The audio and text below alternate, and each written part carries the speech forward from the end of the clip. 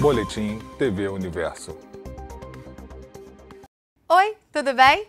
Eu sou Thaís Ribeiro e estou direto do estúdio da TV Universo com as seguintes notícias. Forças de segurança fazem operação em São Gonçalo. Uma ação conjunta da Polícia Civil, Polícia Rodoviária Federal e das Forças de Segurança vem sendo realizada hoje no Jardim Catarina, em São Gonçalo. A operação, que envolve cerca de mil militares e 170 policiais, tem por objetivo cumprir mandados de prisão e de busca e apreensão contra acusados de envolvimento com tráfico local e outros crimes. Até o momento, não houve relatos oficiais de confrontos nem de prisões.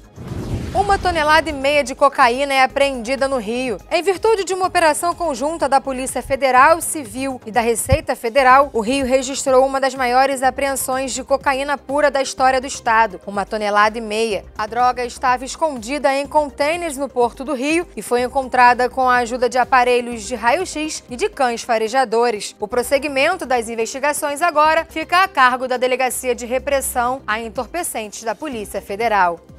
Inscrição para o FIES termina hoje. Após mais uma prorrogação, o prazo para inscrição no Fundo de Financiamento Estudantil, o FIES, termina hoje. O candidato pode fazer a inscrição no site do programa e basta ter o número do CPF e o e-mail válido. Pode se inscrever um estudante que tiver média de pelo menos 450 pontos no Exame Nacional do Ensino Médio, o Enem, e que não tenha tirado nota zero na redação. Uma outra exigência é se encaixar dentro dos limites de faixa de renda estabelecidos para o programa.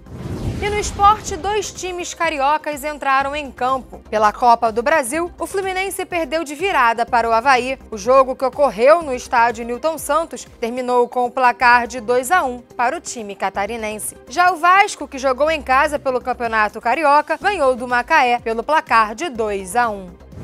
Em Niterói, os termômetros podem chegar à mínima de 24 graus e a máxima de 31. Em São Gonçalo, a mínima esperada é de 24 e a máxima de 32 graus. Itaboraí tem previsão mínima de 24 graus e a máxima de 28. Para o Rio de Janeiro, a mínima esperada é de 26 graus e a máxima de 31.